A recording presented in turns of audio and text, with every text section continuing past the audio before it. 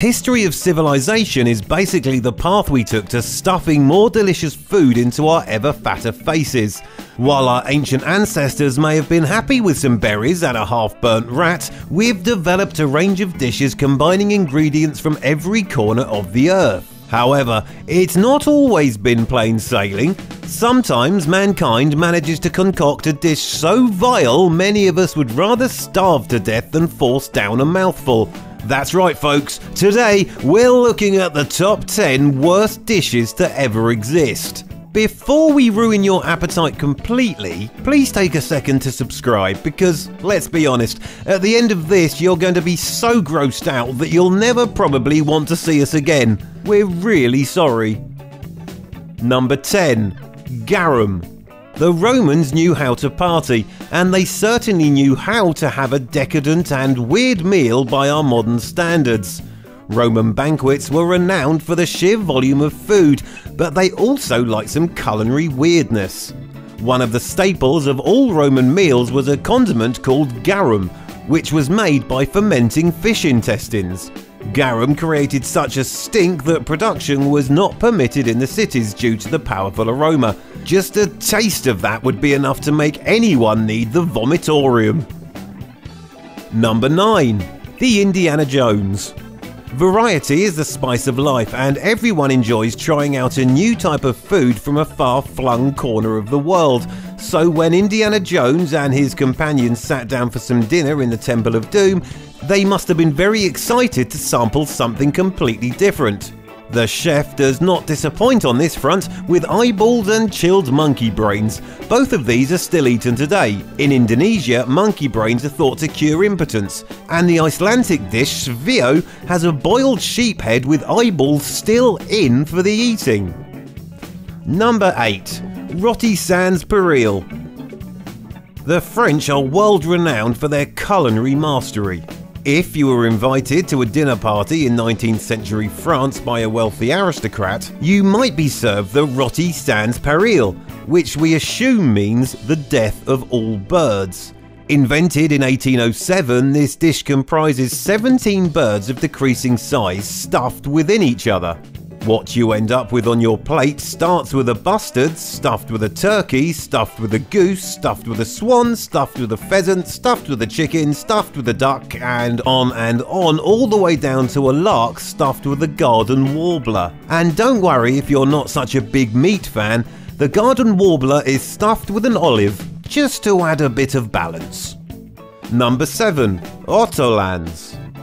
Sadly, the French sadism towards birds doesn't end there. There's the classic foie gras made by overfeeding geese. But surely the meanest is ortolan. These little songbirds are now on the protected list, but they were a French classic for a long time. Okay, so killing a bird is nothing new. Why so bad? Well, for reasons only known to the chefs, apparently the only way to do it was to take the live bird and drown it in brandy. Can't kill them normally? No. This is why we can't have nice things. Number 6. Flour soup. Yeah, this is exactly what you think it is. It was relatively common in Victorian Britain and they used to really let their hair down by adding caraway seeds or nutmeg to the already delicious flour and water combination.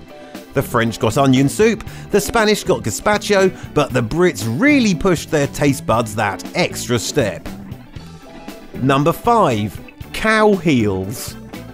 Cows are so big that it's hard to look at the full animals and picture them being a steak. But of all the bits that look potentially appetising, the muddy hooves are not one of them. Although using all the animal is to be applauded, we could probably just get rid of the feet, couldn't we? Guys? In parts of Africa and Jamaica, stewed cow heels are a thing, some recipes advise you to buy from your local butcher to make sure you're getting real cow's feet. Why? What worse thing could they be substituted for? Number 4. Maggot cheese. Casu marzu comes from Sardinia, but it should definitely stay there. Its name translates as rotten cheese, and before you get clever and say, well, all cheese is rotten, just wait. They take a good old pecorino type cheese and then introduce the larvae of the cheese fly. As the larvae grow, they eat their way through the cheese and, you know, pass it through. When it's ready, you put a slice on bread, but you have to use your hand as a guard since the maggots are still very much alive and try to jump out. Number 3. Summer Salad Pie the 60s were great for many things, such as music, mind altering substances, getting laid, and moon journeys. However, its major downfall was its food. The world was finally out of the rationing and supply problems caused by World War II, so it went for a more is more attitude in the kitchen. Summer salad pie was a pastry dish filled with a vaguely tomato flavoured jello, covered in cheese and tuna mayonnaise. In one great bite, you could combine soggy pastry, wobbly bland tomato slime, and creamy fish. Number 2. Black Iguana Egg. Here's a quick question which came first, the chicken or the egg? Or the iguana? The Mayans struggled to find a good source of protein as they didn't have any obvious animals to domesticate, so they turned to the egg. But without any chickens around, they resorted to using iguanas. The egg is basically all yolk and their black leathery coating makes them much better protected. It doesn't make them any less gross though. Number 1. Chitterlings. From South America to North America now for our final grisly dish. Chitterlings are a classic soul food dish, although the soul in question must have headed for eternal damnation. The normal way to make them is to boil pig's intestines in a pot for many hours to soften them up. It's thought that adding an onion helps reduce the disgusting odour that fills the kitchen. They're often battered and fried afterwards, which is probably the best way to cover up any gross ingredient. Thanks for watching another Daily Top 10's Top 10 video, and remember, it's our duty to entertain and yours to subscribe.